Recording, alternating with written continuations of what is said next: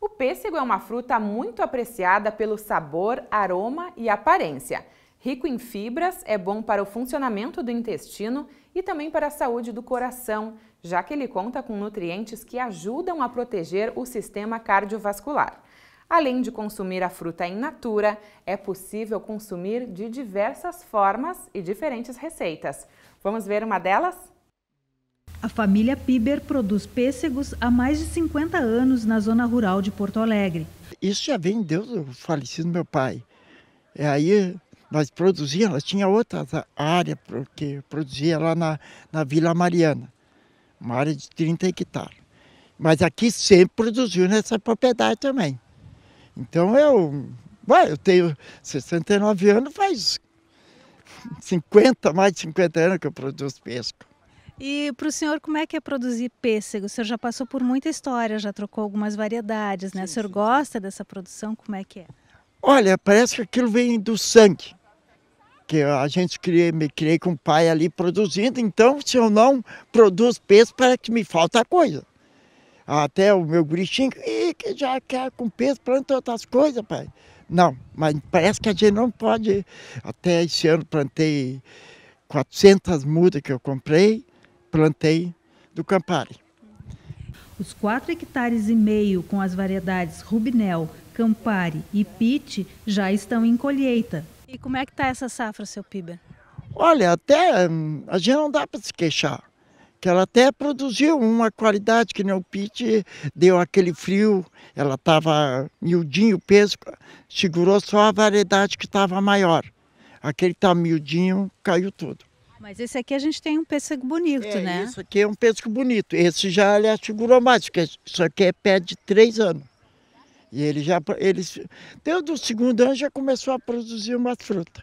E ele tá bom esse ano, ele não dá para se queixar. Eu até acho que foi o clima que ajudou.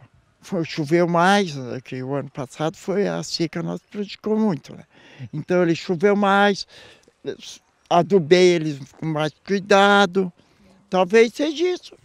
Para esta safra, a família deverá colher mais de 5 mil caixas com a fruta, que é comercializada direto com o consumidor em diversos pontos da cidade a produção assim ela é, ela é muito dirigida à comercialização direta. Os produtores aproveitam esse período de safra porque o pêssego é um dos primeiros a chegar a ficar pronto no estado e comercializam direto com ao, ao consumidor, né, nos pontos de oferta aqui da, da Zona Sul, né, na Cristiano Kramer, na Vicente Montejo, na Coronel Marcos, é, na Estrada de Belém Velho estão os principais pontos de comercialização e mais o ponto central lá no Largo Guilherme Pérez, né, que durante toda a safra de pêssego é, é comercializado durante a semana.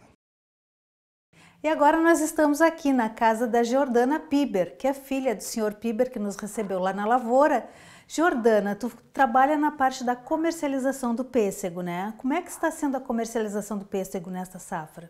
Ah, está sendo bem boa. Ah, agregada a, um, a uma fruta de boa qualidade desse ano, um pêssego mais doce, mais bonito, mais saudável, está sendo bem aceito. A gente começou há pouco já com um movimento bem bom, o pessoal procurando pela fruta. Tá uma fruta saudável, o clima ajudou, ela tá doce, então o pessoal vem atrás mesmo, assim, tá com um cheiro agradável. E o preço está valendo a pena?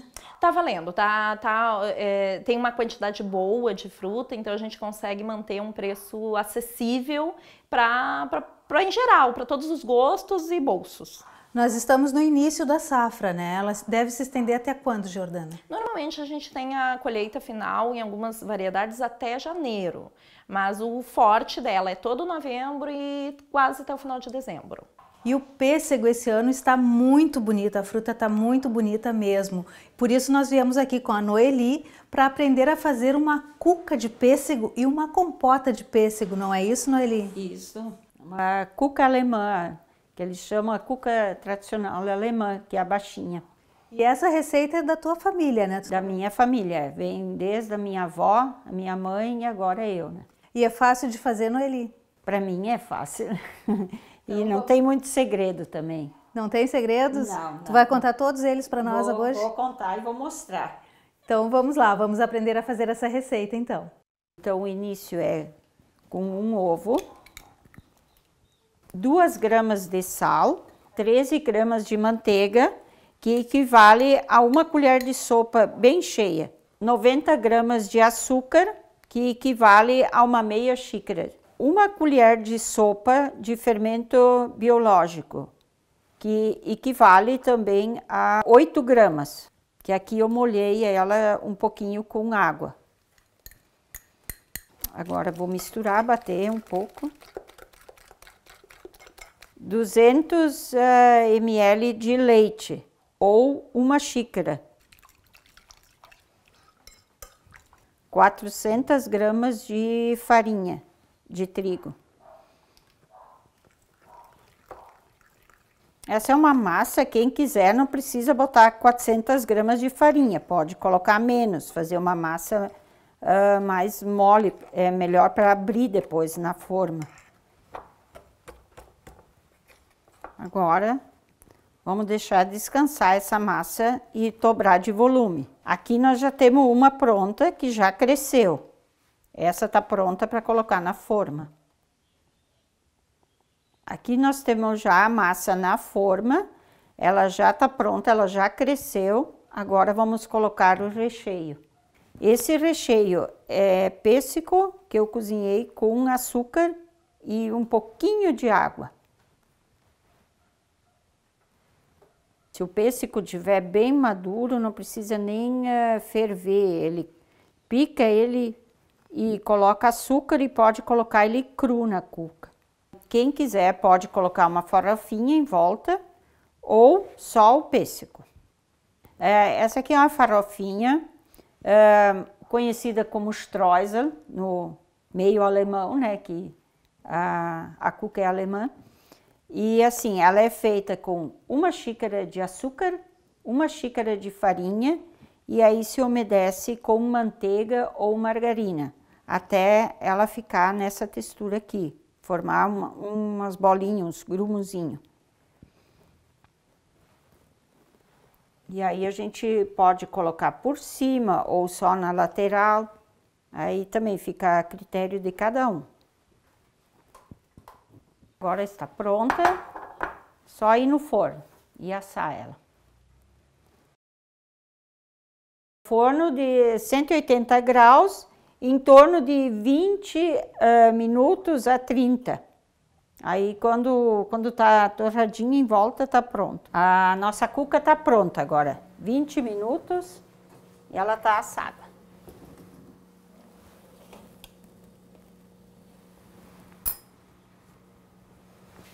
Agora nós vamos fazer uma compota de pêssego. Aqui eu tenho um litro de, de água. Aqui tem um litro de, de água. Eu vou acrescentar dois cravos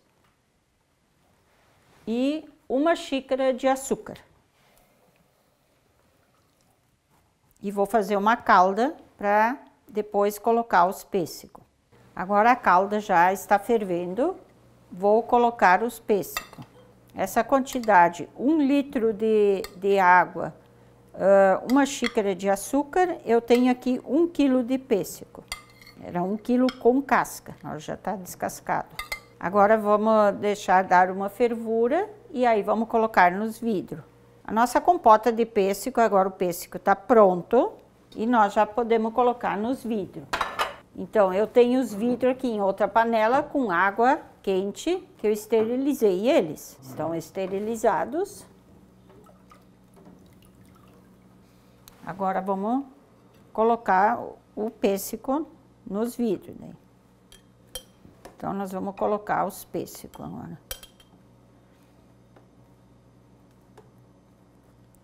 Vamos botar uma calda.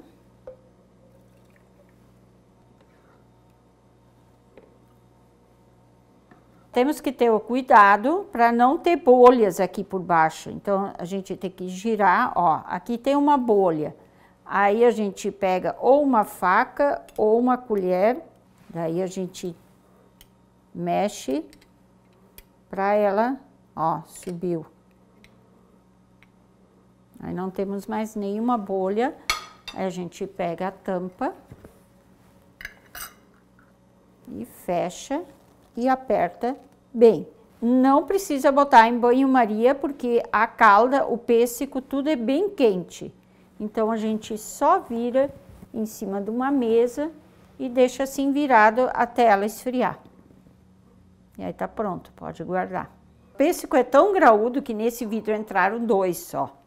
Então, para colocar mais, a gente cortou em pedaços. Então, vamos colocar pedaços agora nesse aqui.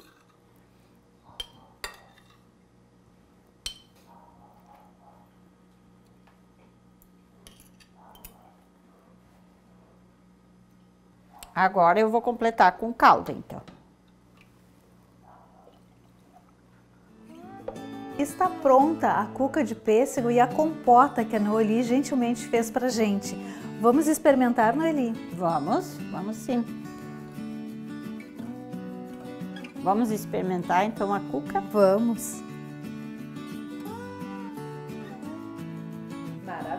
Aprovada? Aprovadíssima. Aprovadíssima. Muito obrigada, Noeli, por fazer essa delícia pra gente e Jordana por nos receber aqui na tua casa. Foi um prazer.